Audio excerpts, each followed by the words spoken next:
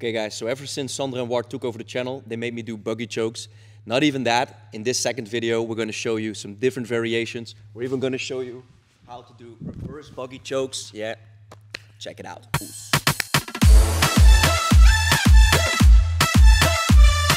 Okay guys, I never thought I would see the day, but since Sandro and Ward took over the channel, not only have we filmed a buggy choke video, I'll put the link above Sandro's head, we're going to do a short part two today with some variations to reverse buggy choke. Now for that fact alone, before you continue, please like and subscribe and leave a comment below because this, this is, I'm giving my soul here to do this. I promise never to do buggy chokes. Let's get to it, guys. So we did the whole buggy choke video. Check it out, uh, the basics and how we'd like you to do it from bottom and blah, blah, blah, and all the setups and Rene Souza and J Rod and all the stories. Today we're going to show you something different. As I'm here, uh, we're going to do a different scenario. My partner might be chasing my back. I hope this is audible as we're here. This is not a good place for me to be in. He has the option to take my back. He has control over me, like side control. So once again, and I'm putting a disclaimer here, I want you to not let your guard, not have your guard passed, recover, wrestle back up, regard. But sometimes you just have to hit that silver button, yeah, that panic button.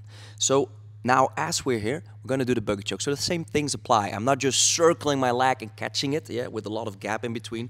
I'm bringing my elbow and my knee down as I AB out a little bit to put his arm and neck closer together. As we're here, circle it in, catch here for the buggy choke. Now we can finish off here by bringing my lat down. So I, I told this in the first video, guys, don't bring your leg up. This will put a lot of strain on your knee, your ligaments. Bring your lats down, so crunch in, yeah? What we could also do, what we saw in the first video, is get up and get some height, yeah?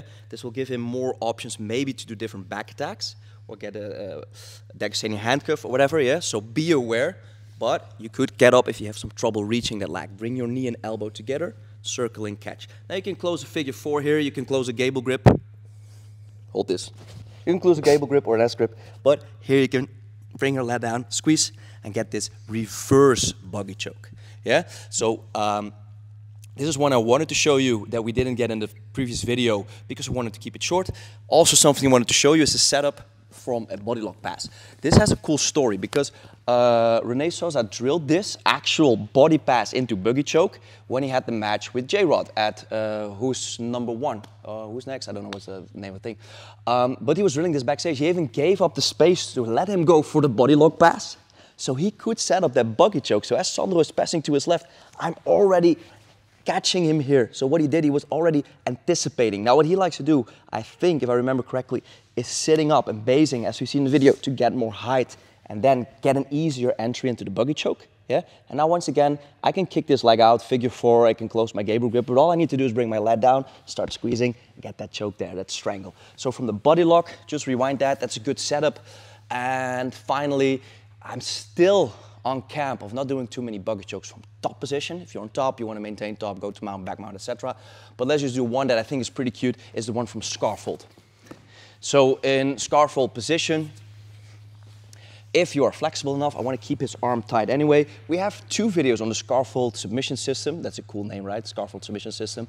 Check that out. I'll put a link here. Um, but this buggy choke was not in it. What I do is the same thing. I start walking up, bringing his head up, and start catching my leg, bringing it in, and closing here. Now, I can close the figure four, just go here, start squeezing, bring it all together, get the choke here. Now I really, as you see, I don't really do this. I don't like giving up top position, even Scarfhold, to get my leg out and start choking there. Just wanted to give you guys a cool thing to do at open mat or bully new white belts with.